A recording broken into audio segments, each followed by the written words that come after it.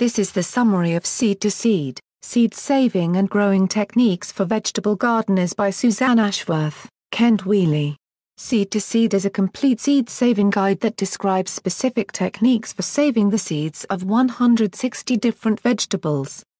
This book contains detailed information about each vegetable, including its botanical classification, flower structure and means of pollination, required population size, isolation distance, techniques for caging or hand pollination, and also the proper methods for harvesting, drying, cleaning, and storing the seeds. Seed to Seed is widely acknowledged as the best guide available for home gardeners to learn effective ways to produce and store seeds on a small scale. The author has grown seed crops of every vegetable featured in the book, and has thoroughly researched and tested all of the techniques she recommends for the home garden.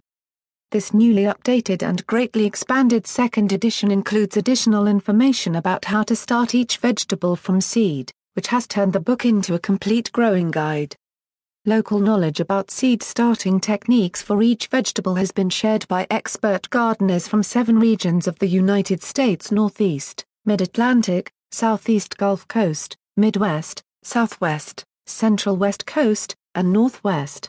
For more hobbies and home book reviews visit www.homebookmix.com.